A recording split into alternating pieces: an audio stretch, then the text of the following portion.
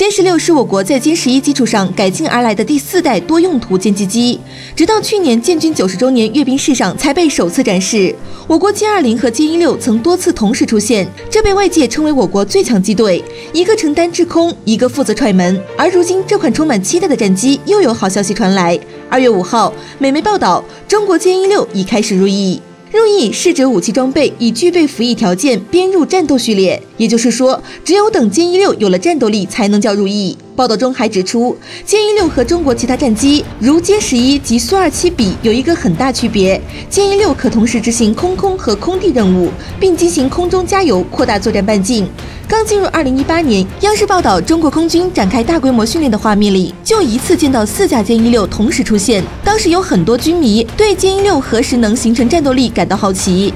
作为中国空军仅次于歼二零隐形战机的第二强战机，歼一六放在亚洲也是第二强战机。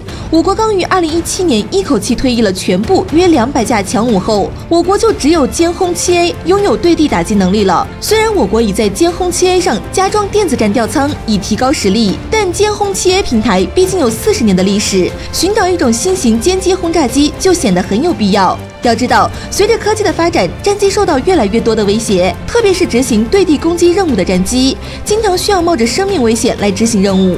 前几天，俄罗斯的苏二五就在中东地区疑似被毒刺防空导弹给击落。针对这一情况，美国就打算采购轻型攻击机来取代目前的 A 十攻击机，似乎觉得有些不够。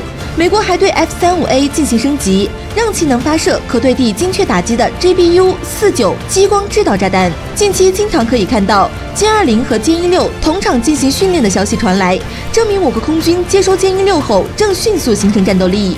美国所称的歼一六入役仪式，其可信度也就很高了。而歼一六的生产方中航沈飞已于二零一八年一月二号正式挂牌上市，成为中国战机第一股，这能为沈飞公司转型升级提供发展的新机遇、新动力。